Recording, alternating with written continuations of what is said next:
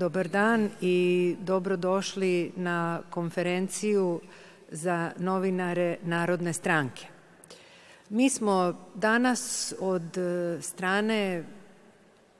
narodnih poslanika koji pripadaju vladajućoj koaliciji čuli jednu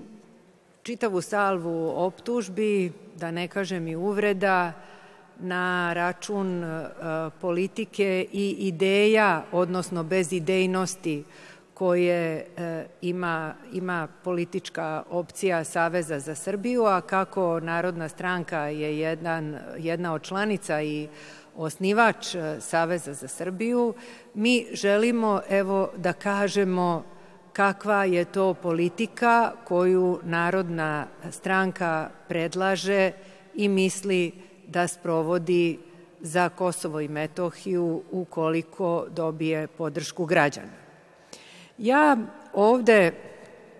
imam jedan, jedan papir na kome su pisane različite izjave Aleksandra Vučića od 2011. godine, gde on kaže Ustav je potpuno jasan, nema podele Kosova,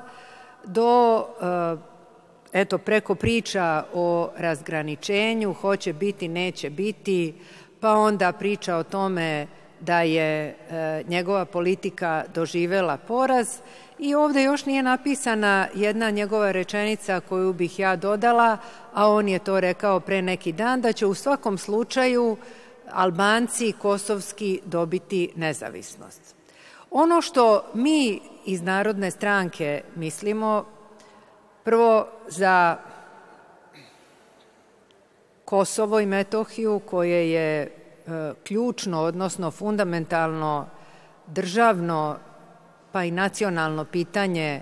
Republike Srbije treba imati jednu određenu ozbiljnost i ne lutati. Drugo,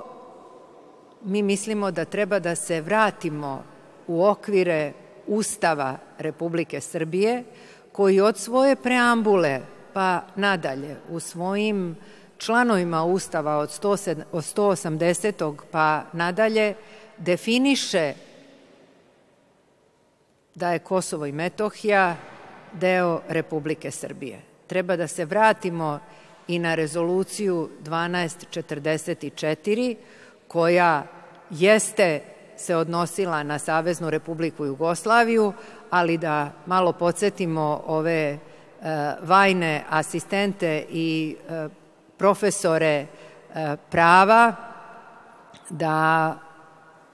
je Savezna Republika Jugoslavije, odnosno da je Srbija nastavljač, odnosno sukcesor Savezne Republike Jugoslavije, te da se rezolucija 1244 i tekako odnosi na Srbiju. Dakle, okvir mora da bude jasan u okviru tog e, okvira, odnosno u, na unutrašnjim stranicama tog okvira treba da se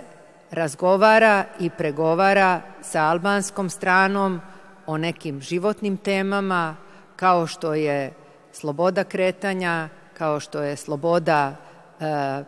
i normalna trgovina bez ovih besmislenih taksi, kao što je bezbednost građana, kao što je e, bezbednost e, Srpske pravoslavne crkve i e, njene imovine i mnogim drugim stvarima. Ni u kom slučaju ne treba prepustiti da pregovore o Kosovu vode ljudi koji nisu dorasli visini zadatka kao što je to slučaj danas na čelu sa Markom Đurićem, a onda i celom tom ekipom koja radi oko Kancelarije za Kosovo. Tu treba da postoji jedan ozbiljan pregovarački tim, treba da se napravi platforma, ta platforma, pregovaračka platforma mora da bude usvojena i od vlade i od Narodne skupštine Republike Srbije, što do sada nije bio slučaj. Evo, to bi bilo uh, ukratko, da tako kažem, kostur ili koordinate nečega za šta se e, zalaže Narodna stranka.